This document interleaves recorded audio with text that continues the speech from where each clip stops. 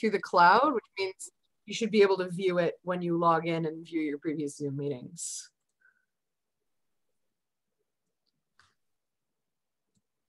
Right, the live transcript is now appearing at the bottom of your screen. If you want to turn it off, you do have that option for your own view.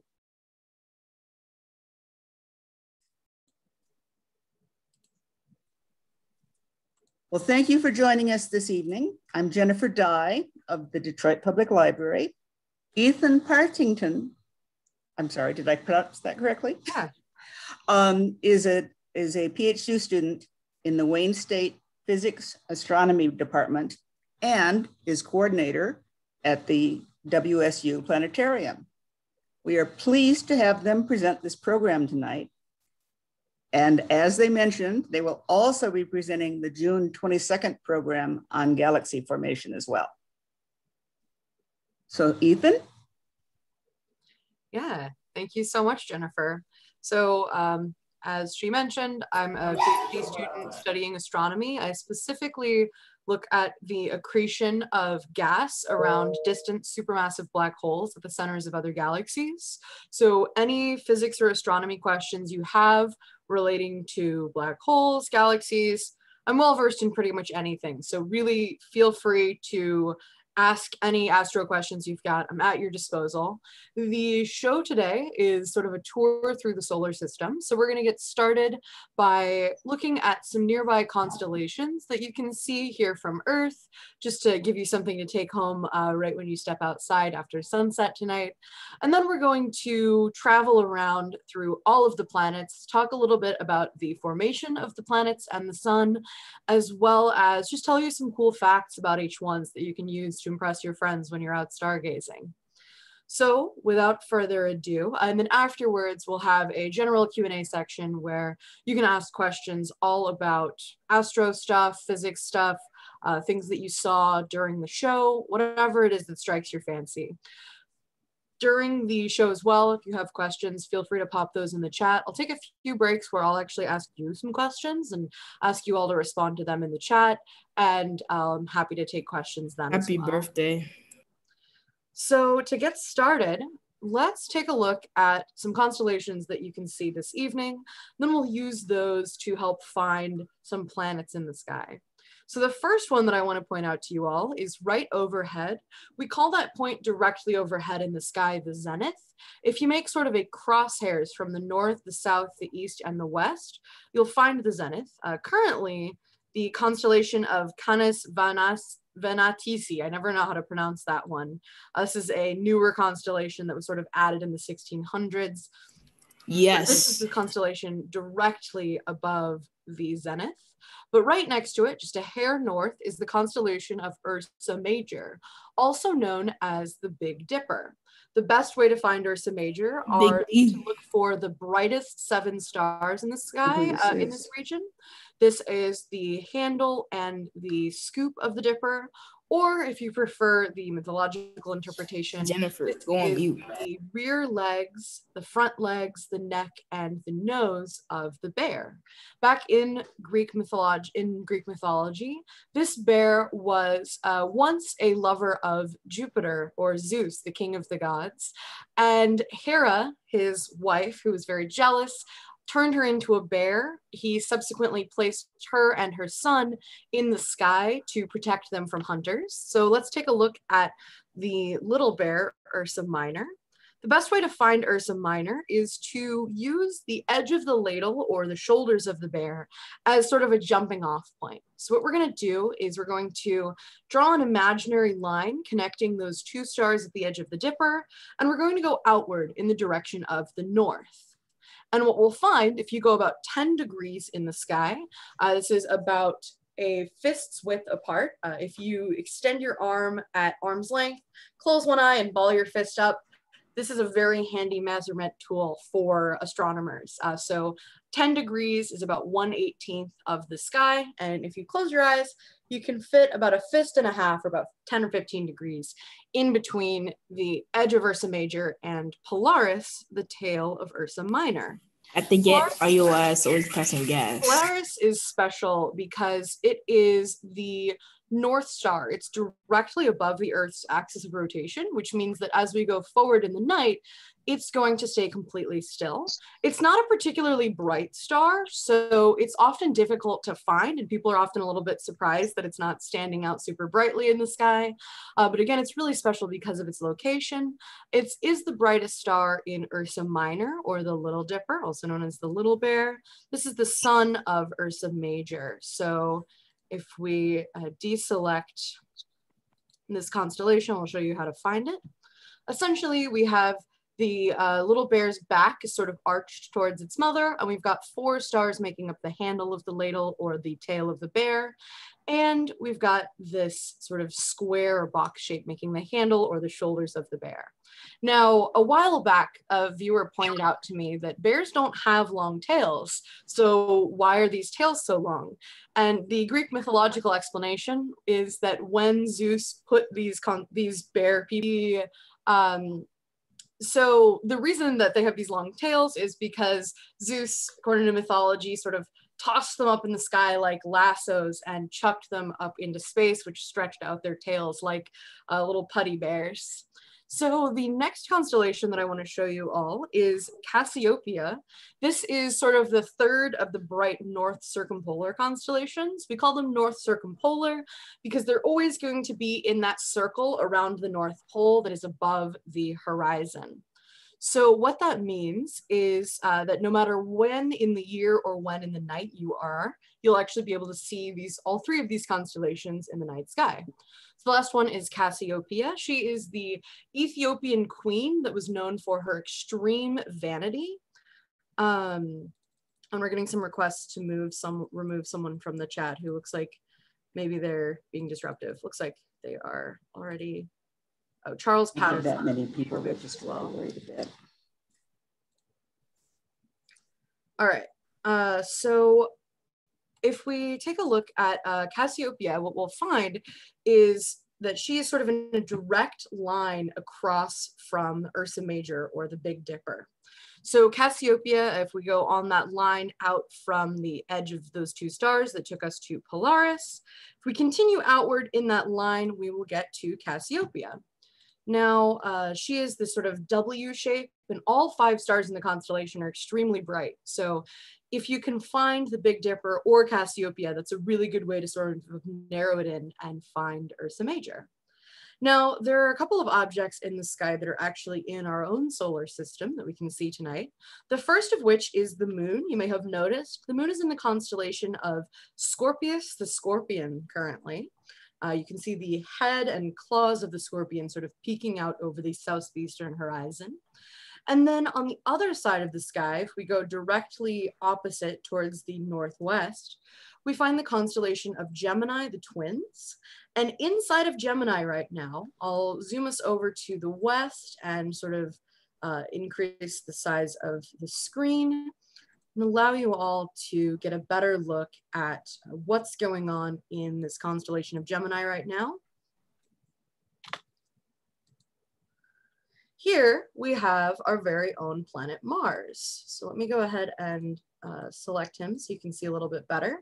If you notice there's that bright red dot that's sort of in between uh, the two twins. So first we have the twin, uh, the leftmost twin on the west. This is uh, Pollux and the rightmost twin is Castor. And then uh, sort of right in between the two of them on the side of Pollux, we have this red dot. It's not very bright, uh, but this is the planet Mars. So one of the reasons that Mars isn't incredibly bright in the sky is that it's very small. It's just about uh, two thirds the diameter of Earth. It's also not very reflective, right? The planets and the moon don't have their own sort of intrinsic light source. They're really just working like big space mirrors reflecting sunlight back to us um, here on Earth. And so lower your effective area, the greater your distance from the sun, and the less reflective your surfaces, the more faint and difficult it's gonna be uh, to see you in the night sky. One way to tell the difference between, say, Mars and this sort of reddish star Pollux or any of the other stars in the sky is that the planets will be a very consistent, clear image in the sky, whereas the stars will appear to twinkle.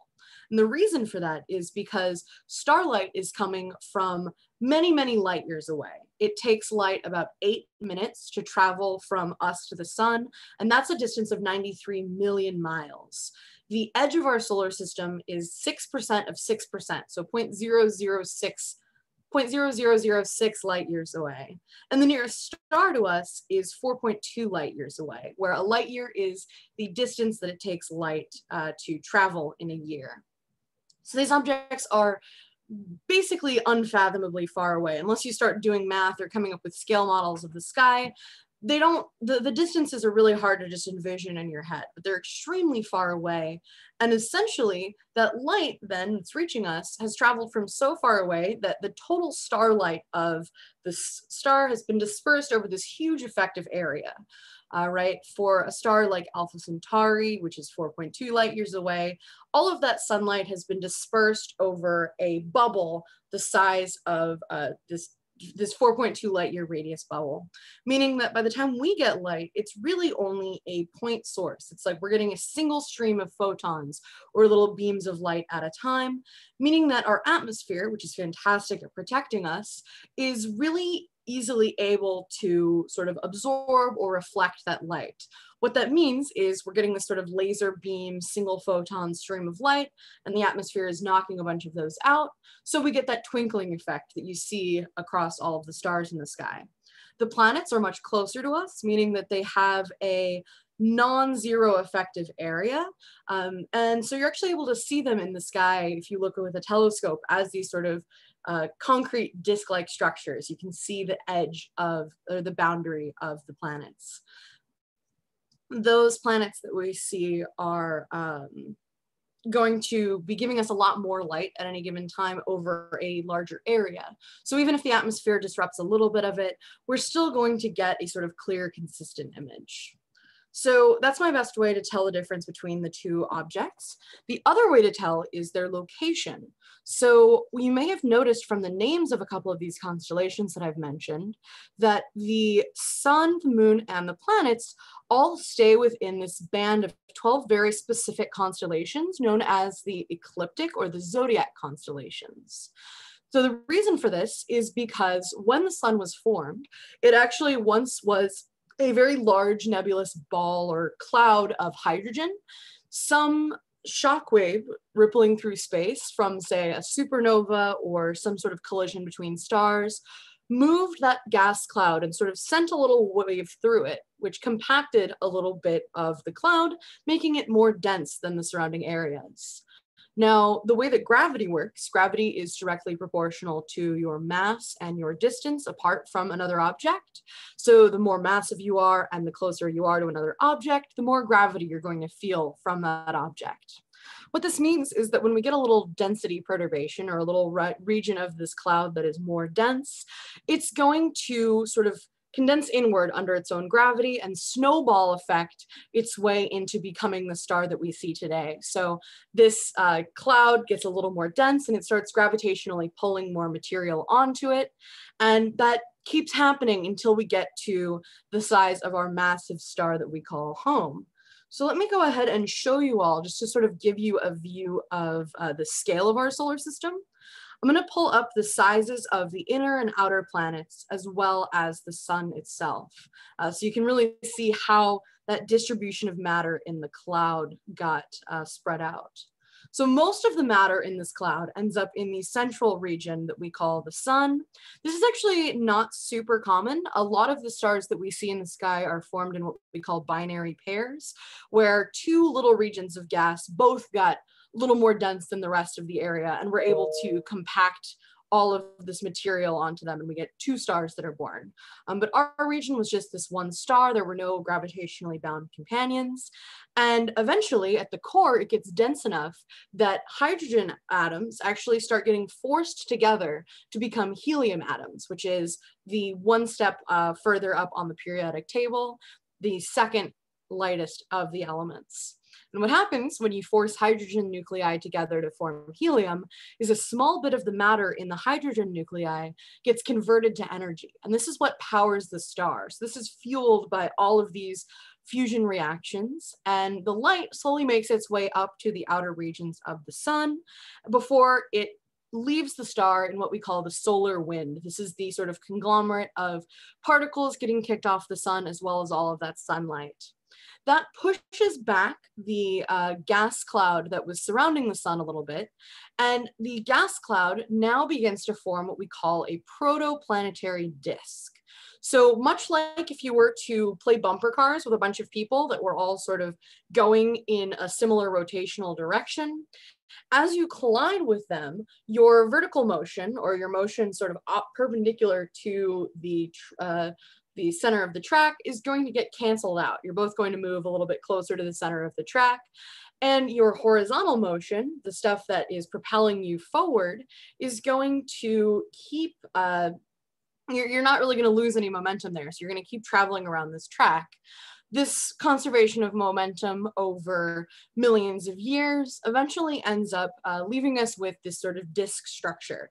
This is the same region or reason that we see, for instance, in my background, the galaxy sort of being brightest in this one strip or disk. This is the same thing we see in the solar system. And this line, when we look out into the sky, the line of that protoplanetary disk is what we call the ecliptic. So the zodiac constellations are all on that line, and they correspond to um, the homes of the sun, the moon, and all the planets. So if you're interested in astrology, right, this is sort of the precursor to astronomy, but originally astrologers back in Babylon in like 400 BC started noticing that the sun would make its path through all of them. And that's where we got the first constellations. Now, um, one thing to keep in mind is that gravity works the same at all at, at, all of these scales in the solar system. So we have this large group of gas that got condensed in the center, and now we've got this cloud that's sort of orbiting in a disk around the star, and we see little perturbations start to happen again. So you'll get these little regions that are more dense, they'll snowball out of control, and all of a sudden you've got these planets that are sort of vacuuming up the material in their respective orbits. So as you might imagine, there was a lot more gaseous material around in the outer parts of the solar system, which allowed us to form these very large gas giants. And there was a lot less material in the inner solar system. Most of that had already been sort of eaten by the star. Uh, but what was there were the heavier, rockier elements that had sort of gotten pushed to the center like a centrifuge and later formed the terrestrial planets. Now, uh, my favorite fact about Jupiter here is that it really is the largest of the planets. No, it is not uh, like a brown dwarf or a protostar. Sometimes people ask about that. And you can see why. It's really not massive enough to even compare to the sun, but it is big enough that you could fit all of the other planets inside of it with room to spare, which I think is kind of cool. And the great red spot, this red storm on the surface of Jupiter, is large enough that you could fit all of the terrestrial planets inside of it. It's about three times the size of the Earth, so you could fit all of these little guys in there. Next up, um, next up, what I'm going to do is go ahead and start flying us to the different planets. So first off, we have Mercury, the smallest of them all. And Mercury looks a lot like our own moon, because it has so many craters.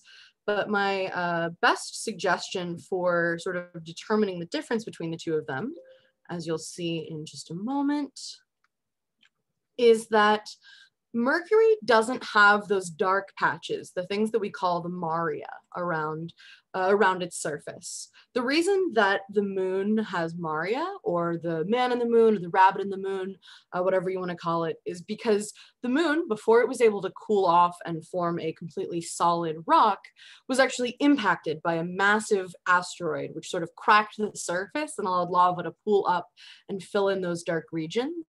You won't find anything like that on Mercury. What you will find are a lot of craters that actually appear a lot whiter than the moon. And the reason for that is that Mercury's surface has a sort of coating or layer of very dark material that's sort of been irradiated by the sun's light. And so anytime a new asteroid comes through and uh, punches through that layer and sort of kicks up the dust from underneath it, uh, you get this very dramatic sort of white uh, effect from the craters and their dust plumes. All of the craters on Mercury have been discovered relatively recently. Um, it wasn't until about the 1900s that we were, we were actually able to image the surface of Mercury. So what that means is that all of the craters were sort of unnamed for most of human history. And in the 1900s, we decided to name them all after different artists, musicians, mathematicians, scientists. Uh, so there's a Walt Disney crater that looks like Minnie Mouse, there or Mickey Mouse. There's all sorts of cool ones. Uh, there's a Dr. Seuss crater as well. So I would highly recommend if you're looking for like a fun solar system trivia thing, uh, to look at all of the craters on Mercury and see if you can find like your favorite old artists and uh, scientists from the 1900s. Mercury is the closest planet to the sun, but it's actually not the hottest. And the reason for that is sort of the same reason that it's got all these dramatic craters, which is that it doesn't have an atmosphere. There's no gas to trap the heat from the sun onto the planet's surface. What that means is that while the day side of Mercury is extremely hot, it gets to about 800 degrees Fahrenheit, the nighttime side is left exposed to the dark part of space with no sunlight to heat it for months at a time. And it gets down to a temperature of about negative 290 degrees Fahrenheit. There are even some craters on Mercury around the north and south poles that have never seen the light of day. So they have always been that cold for Mercury's entire lifetime. Next up, we get to the reigning champion for hottest planet in the solar system. This one is Venus. It was once thought, um, back sort of before sophisticated telescopes, that Venus was sort of a mirror world to the Earth. It's very similar in size. We know it's got an atmosphere, which we can tell by the sort of ever shifting clouds on its surface. So we once thought that maybe this would be the place that we would move once we started to begin colonizing the solar system. What we find, unfortunately, when we take closer looks at this planet is that it is extremely inhospitable. Not only is it 900 degrees Fahrenheit, here's the Earth passing by uh, behind us, and say hi to the Earth if you want. Not only is it 900 degrees Fahrenheit all across its surface due to the blanket greenhouse gas in its atmosphere that sort of keeps it extremely hot all the time, the atmosphere is also rife with sulfuric acid, which is one of the most corrosive substances that we know of. Um, it's an extremely strong acid. The pressure on the surface, due to its extremely thick atmosphere, is also extremely high. Its atmospheric pressure at the surface is about the same as the pressure you would feel standing at the bottom of Lake Superior, so enough to crush you instantly. We actually found that out for uh, sort of in person in 1970. The Soviet space probe Venera 7 was the first object to make it to Venus's surface. And it lasted for 23 minutes and was able to take a couple of photos of the surface before it was immediately destroyed or almost immediately destroyed by the combination of that surface pressure and surface temperature. One thing you may have noticed is the sheer depth of this atmosphere. Uh, you can sort of see the depth of the atmosphere by comparing the dark region that's sort of in Earth's or in the sun's shadow versus the lighter region that's a little bit more transparent because sunlight is able to permeate gas more effectively. Uh, so an extremely thick atmosphere here and not a great place to visit. The next one that I want to show you all is the Earth. I won't talk a whole lot about the Earth just because uh, you could go to a geology lecture and learn way more about our planet than I could ever tell you. But a few things I want to point out are first off, uh, just how thin the Earth's atmosphere is by comparison. If you look over on the left side of the screen, there's this sort of uh, region here where the Earth is in shadow. And again, you can see that effect where the Earth's atmosphere is a lot brighter than the shadowy part of the Earth. And you can see it's about a tenth of the depth of Venus's, which is one of the reasons why uh, we see it's so pressurized over there on Venus. It's just a lot more gas sort of stacked up on top of you. Another thing to point out about Earth that makes it so special is that it is the only um, planet we know of that has liquid water on its surface so far. This, biologists will tell you, is pretty much crucial to building life as we understand it.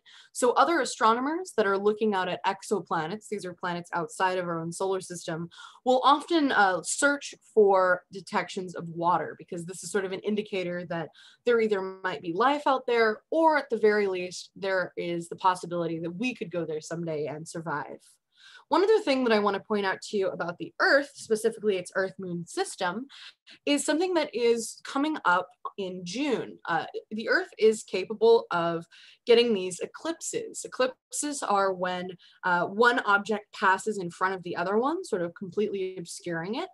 So we have two types of eclipses here on Earth. Lunar eclipses, where the sun and the moon are opposite each other and Earth passes in between them and solar eclipses, the opposite, where the, the moon passes in between the Earth and the sun. Now, one thing that's kind of cool about our Earth moon system is we're the only one uh, that has a moon that is exactly the same angular size in the sky as the sun. This is because uh, the moon just happens to be at the perfect distance to block the sun out. Just like if you were to try and take a, uh, you know, your thumb and use it to obscure a light bulb, you would have to sort of test out different distances between your thumb and your eye in order to perfectly obscure it. And we just happen to be at that exact Goldilocks distance where the moon can block out the sun. Now, this is not entirely true all the time uh, because the moon's orbit is not perfectly circular. It's a slight ellipse, which means it's a little bit squished on uh, one side. What that means is that when we get these eclipses, um, sometimes we're in what's called a total solar eclipse, where the moon is a lot close is a little bit closer to us, and we're able to get that perfect Goldilocks distance. But about half the time, we get what are called annular solar eclipses. This is when the moon is in a part of its orbit that's a little bit farther away from the Earth. So rather than getting the sun completely blocked out, you see sort of the sun's halo around the edge of the moon. And that's what's going to happen on June 10th. I will go ahead and drop a link about that in the chat. Uh, I would highly recommend keeping an eye out for it because you're actually going to be able to see it, uh, the partial eclipse at least, or see the moon slowly pass a little bit in front of the sun from here in Detroit. If you're up in uh, Canada or northern Russia or Greenland, you'll actually be able to see the entire annular eclipse. Uh, so this is pretty exciting. I'll send this to everyone. And this is going to be happening very early in the morning, right around sunrise. Uh, it starts at 4.12 a.m., so before we're even able to see the sun, and lasts until about 9.12 uh, a.m., so it's going to last for about five hours. So definitely I would recommend checking that out. Make sure that you use either a telescope that sort of projects the sun's light onto the ground, or you use one of those solar lens uh, eclipse glasses, because staring directly at the sun is definitely a no-go. It's one of the quickest ways to blind yourself. Next up, we have my personal favorite planet, Mars. Uh, so this is the one that you're able to see from the sky this evening at sunset. So after the show, I would definitely recommend trying to find Gemini and then looking for Mars. This is right on the western horizon. And Mars is one of my favorites, not only because it's sort of the one that we've explored the most. We just last year actually sent uh, the Perseverance and Ingenuity probes, uh, which included our first flying probe on Mars' surface, to continue mapping its surface. Uh, it's also the only other terrestrial planet or inner planet with moons. Phobos and Deimos, named after the Greek uh, words for fear and panic, which were the uh, horses, the names of the horses driving the Greek god of war's uh, chariot these are two captured asteroids. So they're not sort of formed the way that our moon was. Our moon was formed when a large object collided with the Earth and sort of kicked a bunch of material up into space that then coalesced into the moon as we see it today. These are much smaller. They are about uh, nine and 18 miles across. So like the size of a small town, basically. And there are these little asteroids that were captured by Mars's gravity as they traveled too close to the planet uh, from their orbits in the asteroid belt. Now, Mars, despite being much smaller than the Earth, has the most extreme geological features in the solar system. These are the greatest, the largest canyon, uh, which is known as the Mariner Valley or the Valles Marineris. It's coming up on the horizon right now. Uh, it's this very large sort of um, pancake shape with this little bubble on top of it, or this line shape with this little bubble on top of it. And uh, this is a canyon that was formed over millions of years of uh, water actually on the surface, sort of eroding away at this region. And this is so large that if you were to put it on the surface of the earth, it would stretch across the entire continental United States. So much larger than any canyons that we have here on our planet. The other feature that's super interesting on Mars's surface is Olympus Mons, named after Mount Olympus, the home of the Greek gods. That's this sort of uh, circular shape that just passed into the dark side of Mars. This is a shield volcano that was formed um, by the slow sort of output of lava on this volcanic surf volcanic part of the surface. This volcano is big enough that if you put it over on the United States, it would cover the entire state of Arizona. So again, much larger than any of the volcanic mountains we see here on Earth. Um, Mars has a very thin atmosphere. It's made mostly of carbon dioxide, and it's why you get sort of a pink color in the sky if you look at photos of Mars taken by one of those probes. Next up is Jupiter. And uh, the interesting thing about Jupiter, as well as the rest of the gas giants, there's many interesting things, but one of my favorite things about them is that they don't actually have a surface.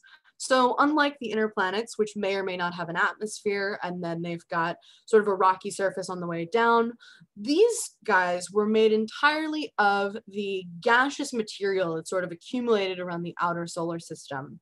And what that means is that they've got these ongoing storms that can last for hundreds of years. Here on Earth, we get storms usually when a warm front of gas meets a cold front of gas. And they're often broken up by the Earth's landmass. So, for instance, hurricanes rarely travel far inland because they're sort of cut off from their heat supply, which is the ocean, as they travel further inland. On the other hand, planets like Jupiter, Venus, uh, Jupiter, Saturn, Uranus, and Neptune don't have a solid landmass underneath them. They really are all gas all the way down, aside from a very small rocky core. And what that means is they're sort of able to rage on for hundreds of years uninterrupted.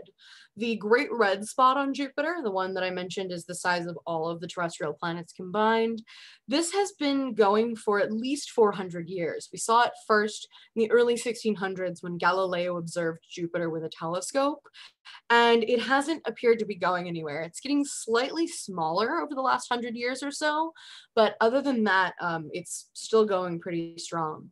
The other thing that's sort of notable about these surface features here on Jupiter are these dark regions. These are called zones and the light regions called bands.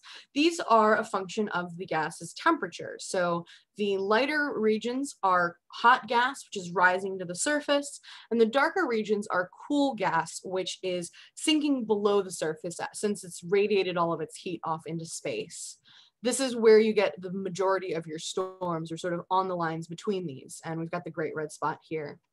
Jupiter has an incredibly large amount of moons. Some of these were formed with the planet by Jupiter sort of forming its own proto-moon disk um, by pulling gas from the protoplanetary disk into an orbit around Jupiter.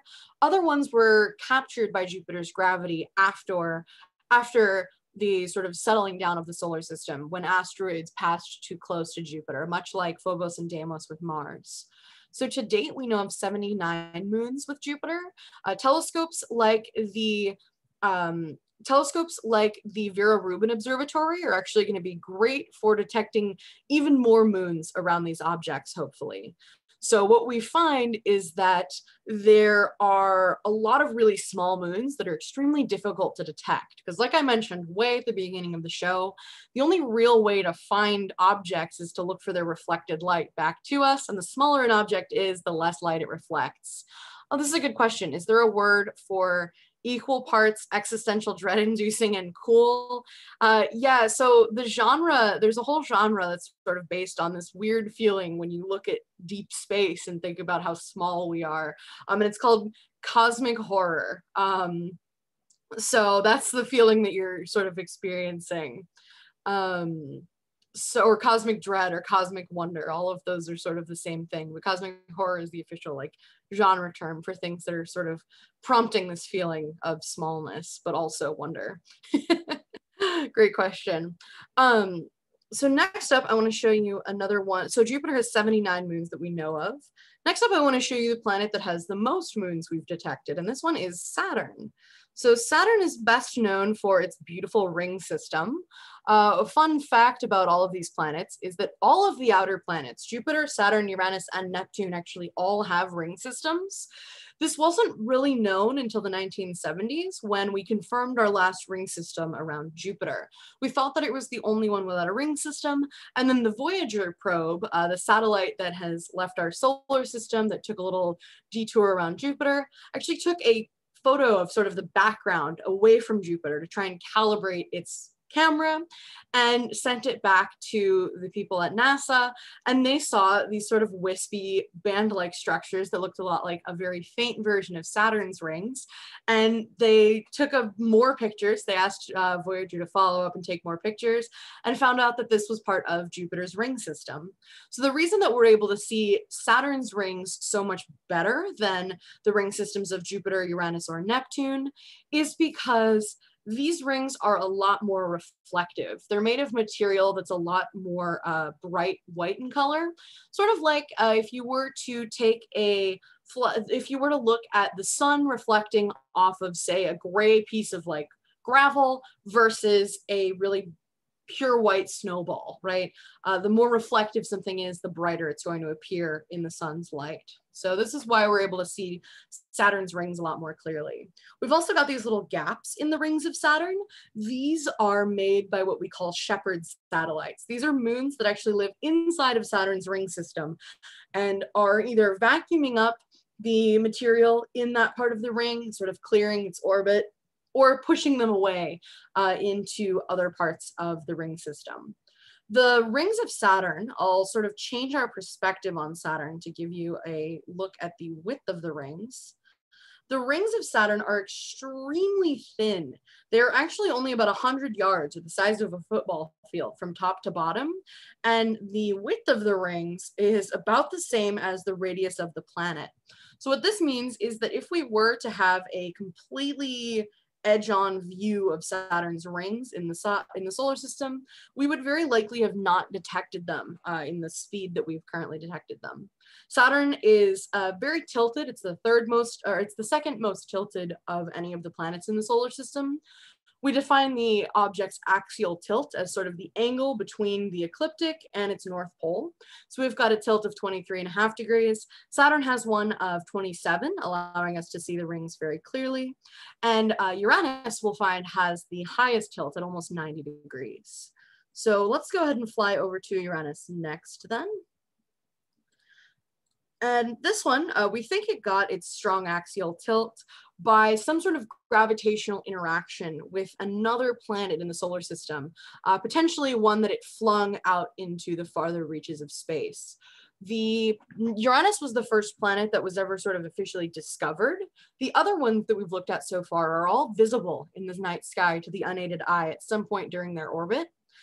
Uranus, on the other hand, is only visible through a telescope and it was discovered after astronomers sort of noticed that there were these wobbles in Jupiter and Saturn's orbit, as if some other object was gravitationally influencing them from farther out in the solar system. So William Herschel discovered this telescope in, or this object in the 1800s in his backyard, and he initially wanted to name it the Georgium Sidus or George's star after King George, who was funding his research at the time.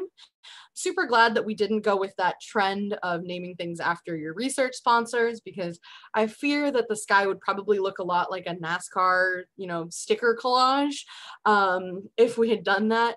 Instead, his friends at the Royal Astronomical Society convinced him to name the object in theme with the rest of the constel of the planets. So he named it after Neptune, Jupiter's grandfather and one of the Titans, or Uranus, Jupiter's grandfather and one of the Titans. Now, as you can see, uh, this is sort of a sun on view. The little white part here is the part of the planet that's receiving the most of uh, the most sunlight right now. And the North Pole sort of just appears to rotate directly around this uh, sort of daytime side of the planet. This is because of that gravitational um, interaction that happened way back in the early solar system. And what this means is that for half of a Uranian year, you're in the daytime, and then for the other half, you're in the nighttime. So the day and night sides of Uranus are purely determined by the orbit of the planet rather than its rotation, which is something we can only say about this planet. Uranus has 27 moons that we know of, and it's got a very thin, sort of dark, clumpy ring structure that's not visible to the unaided eye. Next up, uh, we have Neptune. So Neptune was discovered purely with math.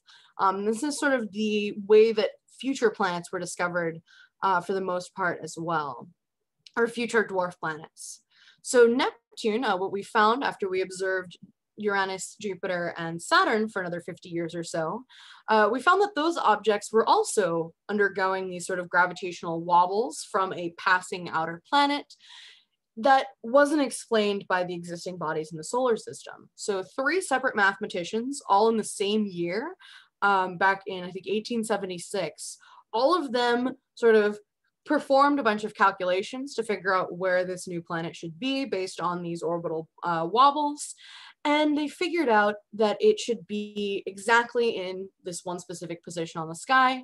They all looked at their telescopes and found this gorgeous blue object moving around in the sky uh, within a couple of degrees, so within like a finger width extended at arm's length of their predictions. So all three of them are sort of jointly credited with this discovery. Even though they didn't work together, they all just happened to figure it out at the same time.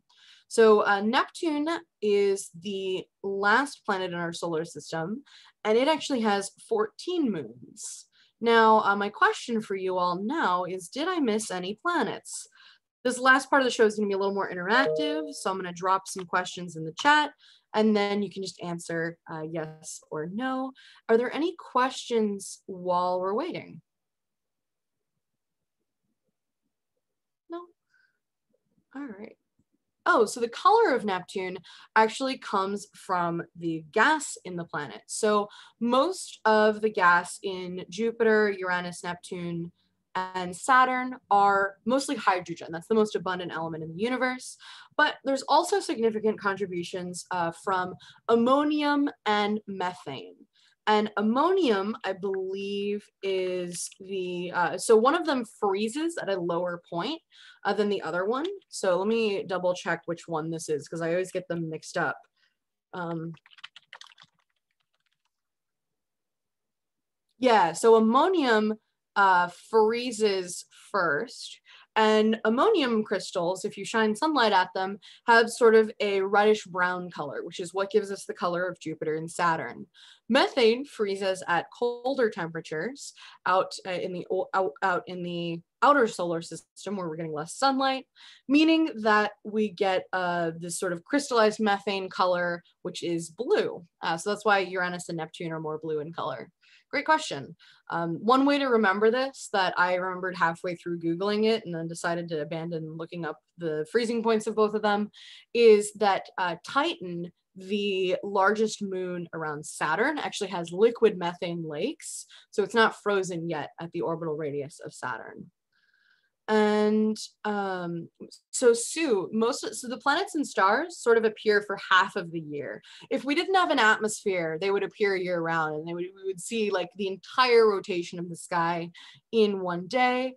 But what we see is that a lot of planets are, um, or the, the because a lot of all of the objects that we've seen with atmospheres have this sort of uh, sun scattering effect during the daytime, meaning that the stars that are still up in the sky during the daytime are sort of washed out by the sun's light. So we only see half of the planets um, at any given point or half of the um, half of the stars. So uh, then that means that you want to see an object like Venus, you'd have to wait until um, about six months later. Good question.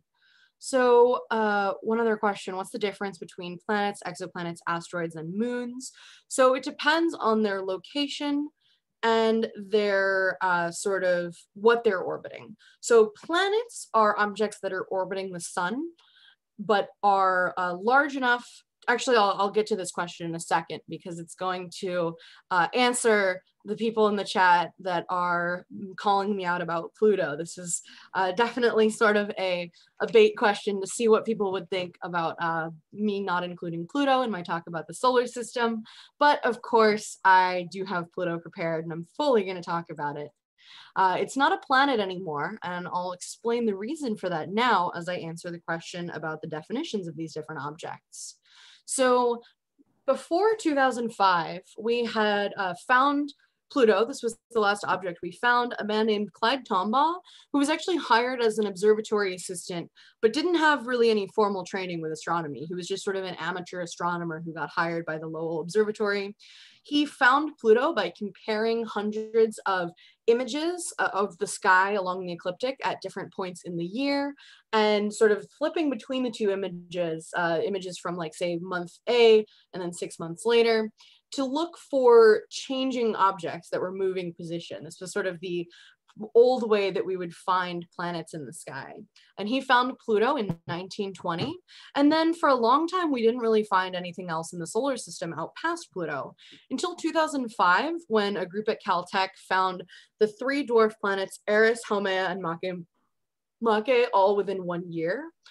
And the International Astronomical Union, the governing body that sort of controls the naming scheme of all of these planets, after we had our little Georgium Sidus incident, we decided we needed somebody other than the planet discoverers to really um, have some governing rule over what these planets were doing.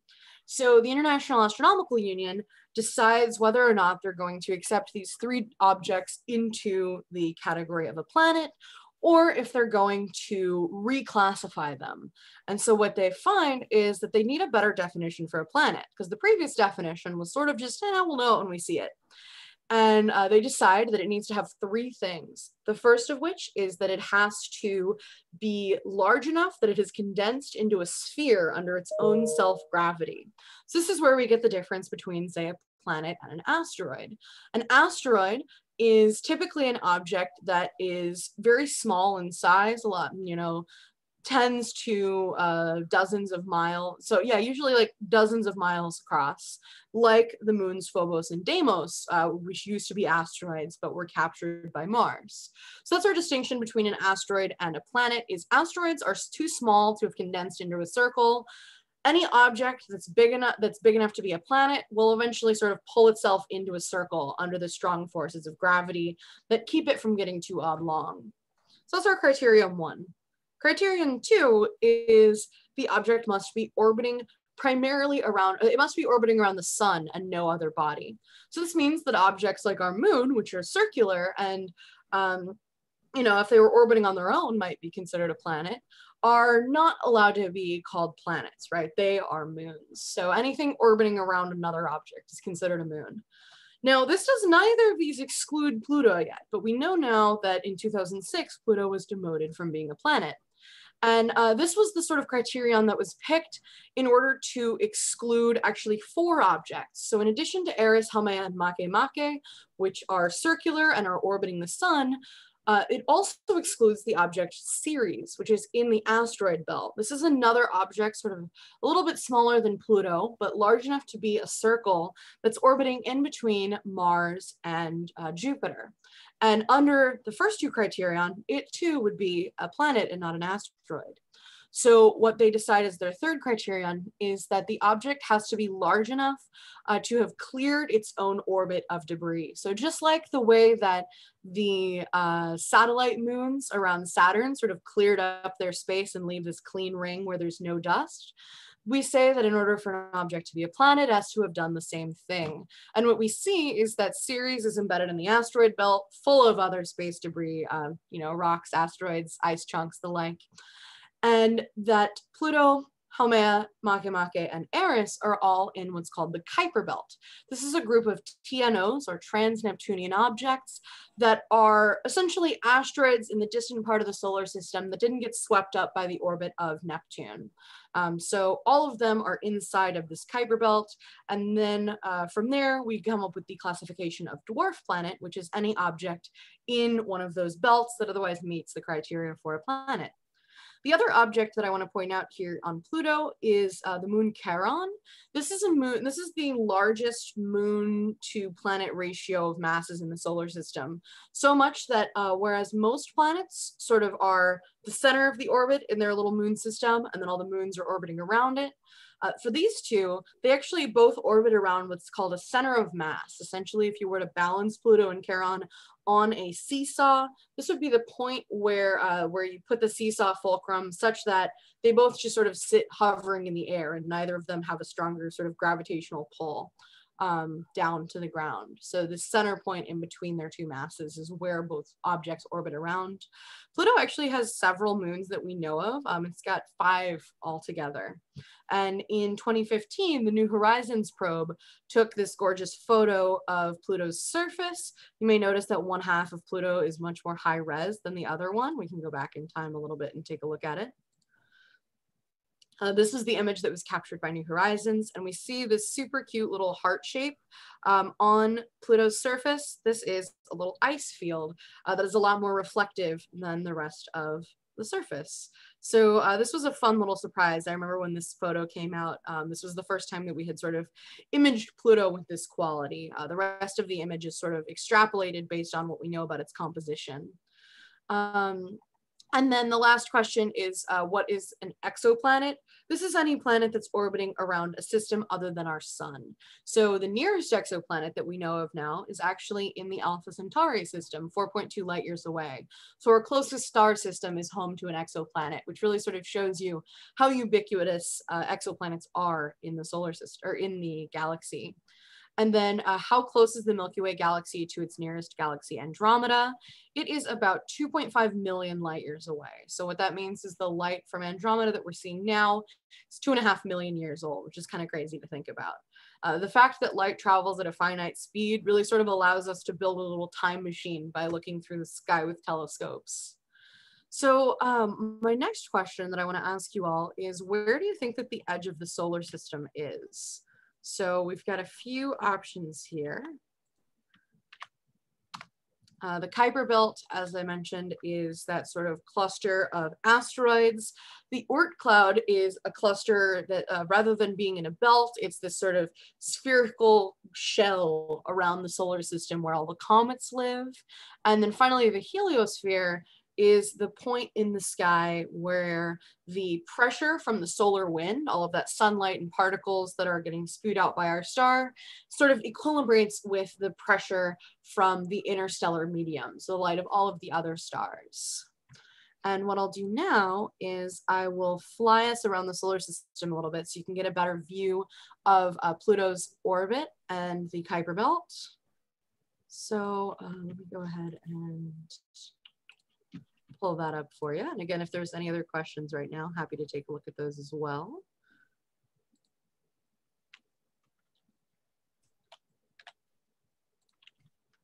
All right, so first up, we have our own uh, inner solar system.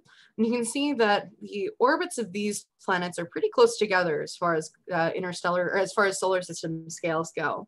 Ceres, that dwarf planet that we talked about, is living in this asteroid belt here. And you can see why I sort of said that it hasn't cleared its own orbit because there's all of this other stuff in this part of the solar system.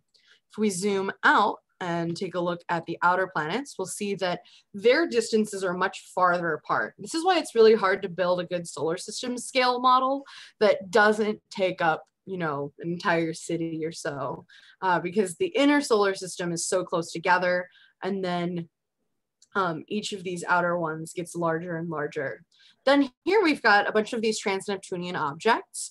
These are um, asteroids that are sort of all in what we call the Kuiper Belt.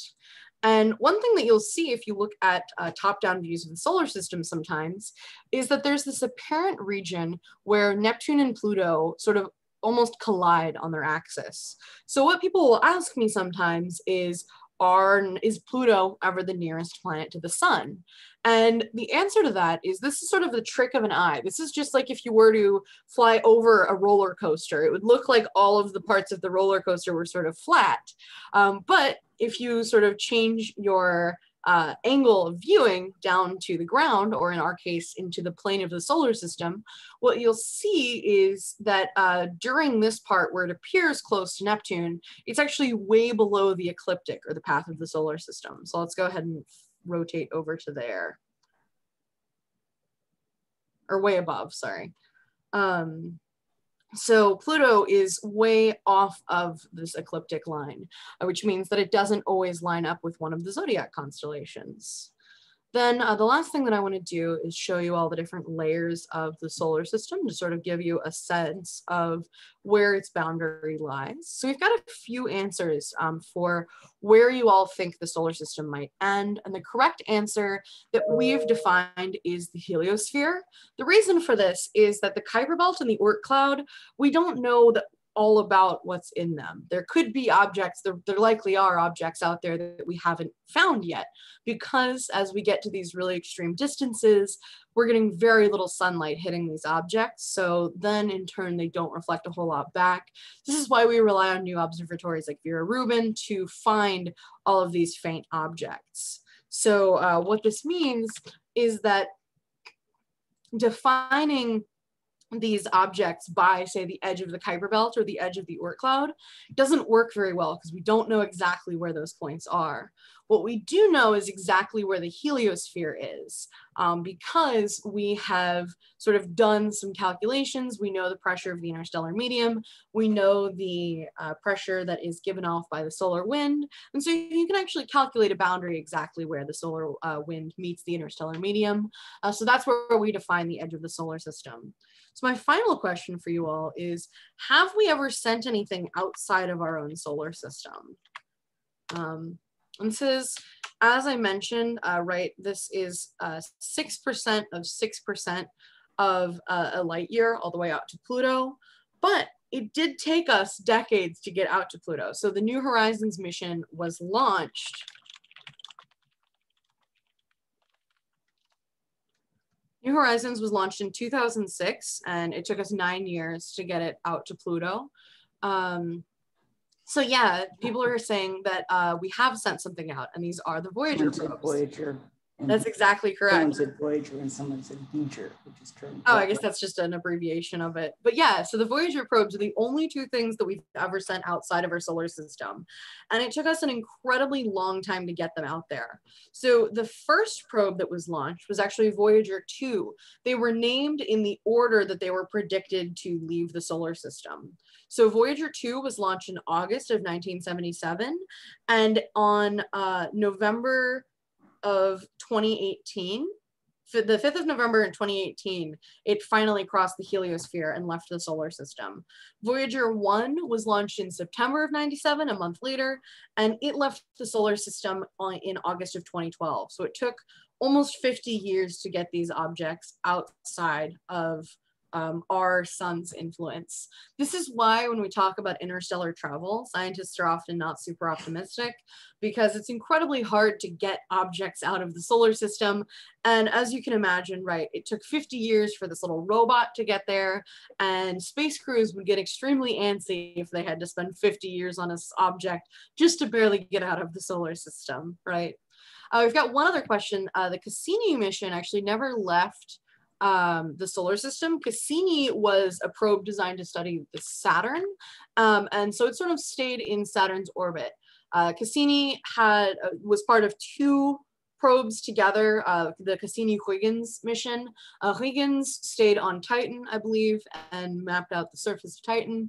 And then Cassini stayed sort of in Saturn's orbit until it crashed into the surface intentionally a few years ago to sort of get a sense of the planet's composition in its outer atmospheres? Excellent questions. So that is everything that I have for the show today. Um, we are coming in right at about seven o'clock. So are there any questions before we uh, finish up? Any, they don't have to be related to the solar system now, just any general astronomy questions are totally fine.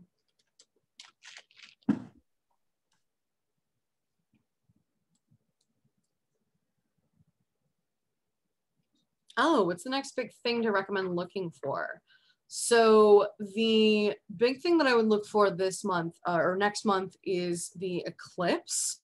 Um, and then let me take a look at when the next, so the next total solar eclipse that's happening, these are a lot more exciting than annular solar eclipses because they're the ones that actually sort of blot out the sky and you're able to see the nighttime sky during the day because the sun's light is so obscured.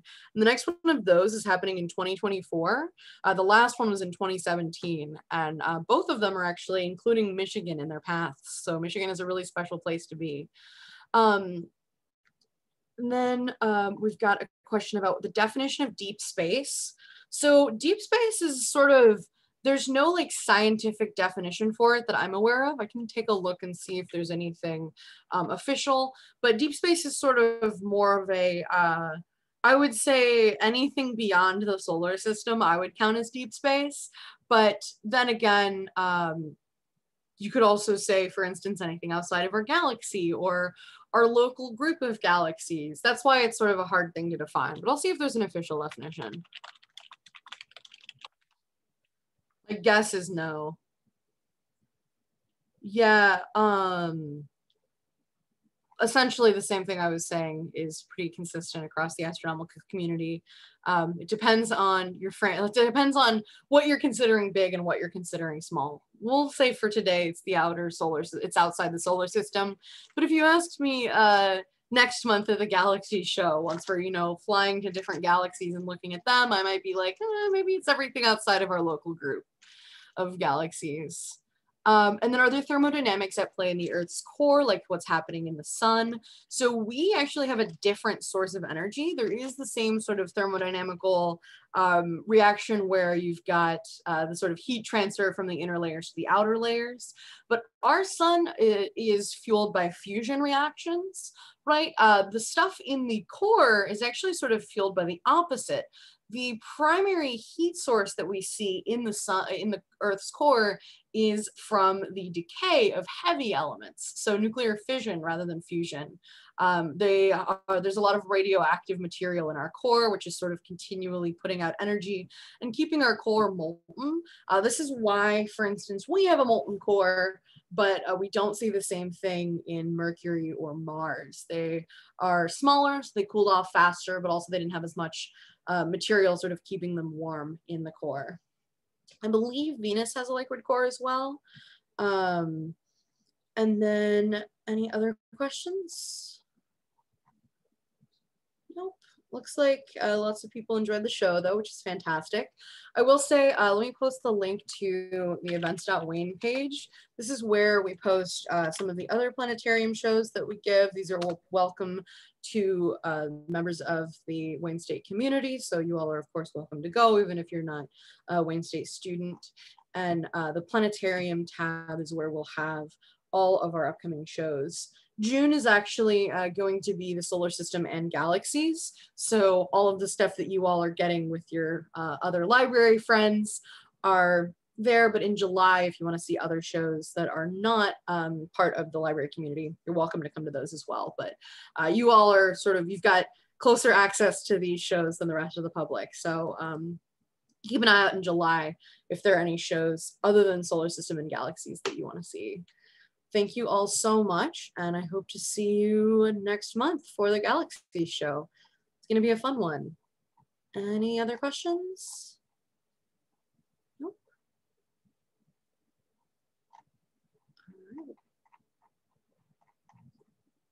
Thank you everyone who came and thank you very much, Ethan, for your wonderful presentation. Yeah, absolutely. What is the best stargazing app? We have Ooh, a my recommendation here. Uh, this is an app.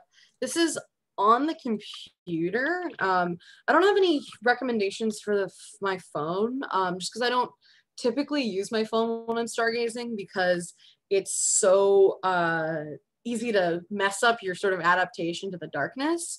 But what I would recommend doing is sort of coming up with an observing plan on this web app called Stellarium that I will post a link to in the chat. It's free and it's sort of a virtual planetarium that you can use. Um, there's a web version and you can locally download it on your computer.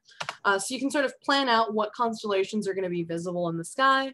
And then I have uh, either bought star atlases before, which do the same thing, or just print out your sort of web page from Stellarium and it will show you sort of all of the objects in the sky that you want to see that night. And uh, you can use, I would recommend covering your flashlight with red cellophane Red light is less energetic, so it's less likely to disturb your eye and cause your pupils to shrink up. Um, so I will post that as well.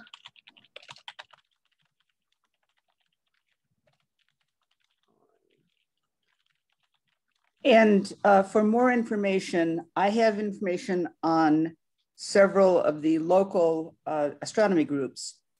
And I would be happy if you email me, jdye at detroitpubliclibrary.org.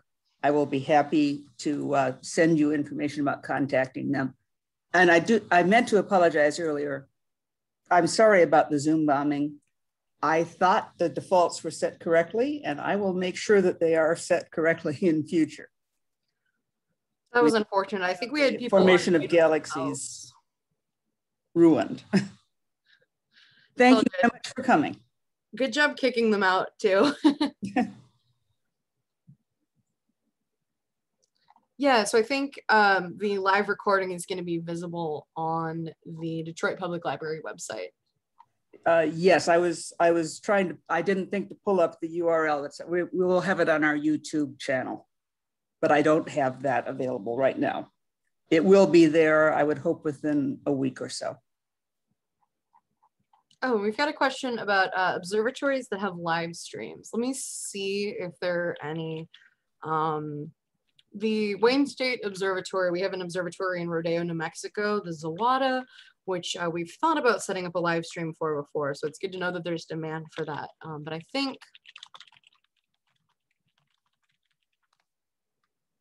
my undergraduate uh, university had uh, used to have a live stream as well.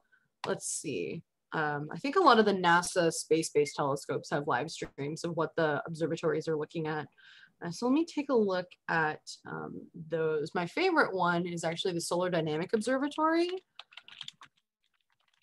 This one has a pretty constant, um, this one has a pretty constant stream of what's going on with the sun. So I'll post these uh, in the chat. Um, so uh, let me pull up. Yeah, we've got this page called The Sun Now, and I will show everyone this because it's it's kind of insane that we just have this observatory that's just live streaming the sun. Um, and so this has uh, up-to-date photographs of um, our latest observations of the sun at multiple different wavelengths. So this gives you a really good look at how the sun behaves in say the X-ray versus the optical wavelengths of light, uh, where X-ray is higher energy and optical is lower energy.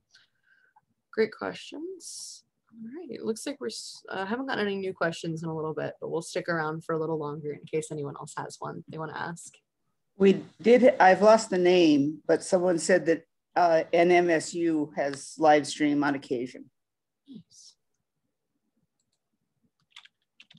And the Warren Astronomical Group sometimes has a live stream from their observatory night. And I, I think it's usually the third Saturday, but I'm not sure.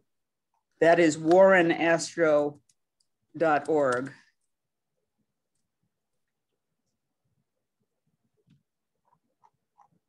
They sometimes have.